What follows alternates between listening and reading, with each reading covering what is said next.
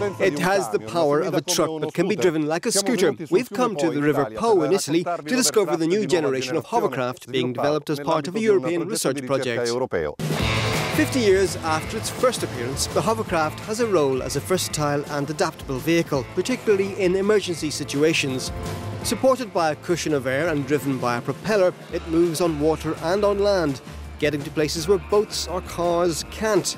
Now, several innovations have made this complex machine easier to operate.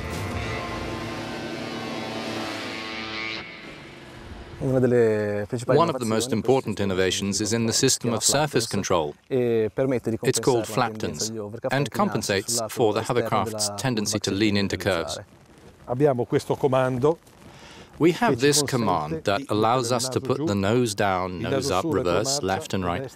The engine is like an outboard motor. It can be detached and attached on another hovercraft or on two coupled hovercraft to obtain a larger hovercraft.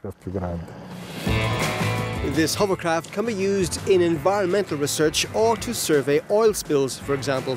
But it can also be used for rescue, as in this simulation. The hovercraft can help us when we work on the river, at sea, and above all in floods. For this vehicle to be an effective solution, the training on how to operate it is critical. Maneuvering towards someone in the water requires a great deal of skill.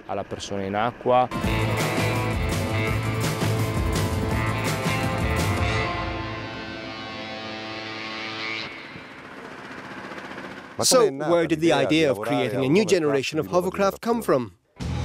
It all began at a castle in Italy's Liguria region, which served as the base for the research. Here, naval engineers and other experts looked into many possible innovations to the craft's original design. 27 years ago, I bought a company in which there were two small hovercraft made in the USA. From there, I saw that there were opportunities to work in the lagoon, but these hovercraft were too small, with two-stroke engines. Now the research to improve the hovercraft involves specialists at a European level.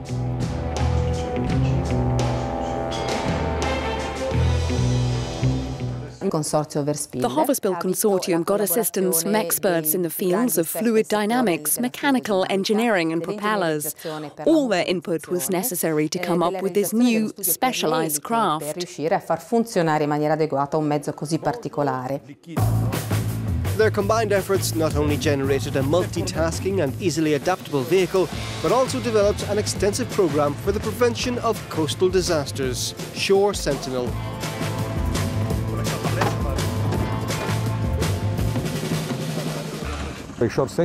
Shore Sentinel will be based in Venice and along the River Po. This location should provide cover for emergencies in some 200 or 300 municipalities.